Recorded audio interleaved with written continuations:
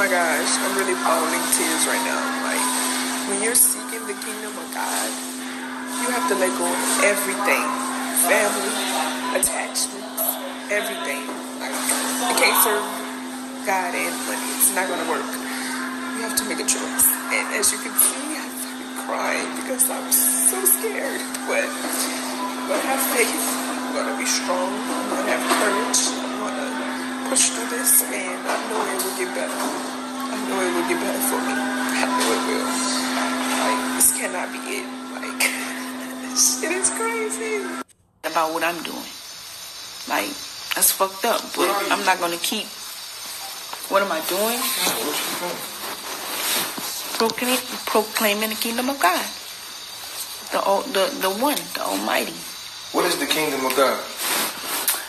The Christ consciousness. The one. What is the Christ consciousness? What is it? The. Um, why did you come here? Why? Yeah, why did you come here? I'm gonna get off here because I don't No, want no, no, no, no, no, no, no, no, no. Get back on me. Right, No, don't run from no shit. Cause this is the shit I'm talking about. right. Why did you come here?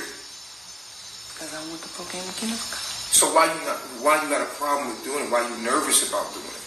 That's what I'm. I'm trying to get to the bottom of the issue to understand. Because- like, okay, so why you come here? Like, why you do all that you did to get here and not stand up for what you stood for? If that's what you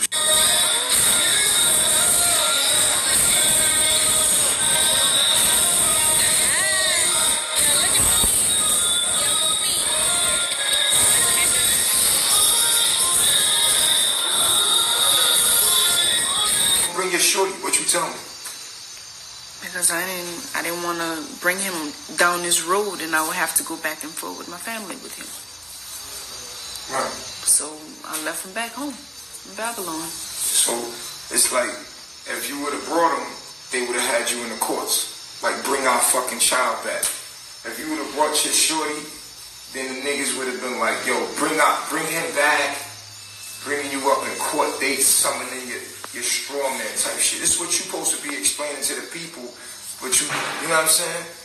You online acting like this, so they feel like, oh, he manipulating her to do this shit. You got me looking crazy, but it ain't. But you know what I'm saying? But the truth gotta be told. Like it ain't me, it's you. It's you. You came here and you doing this shit. Like, nah, my nigga, niggas need to understand.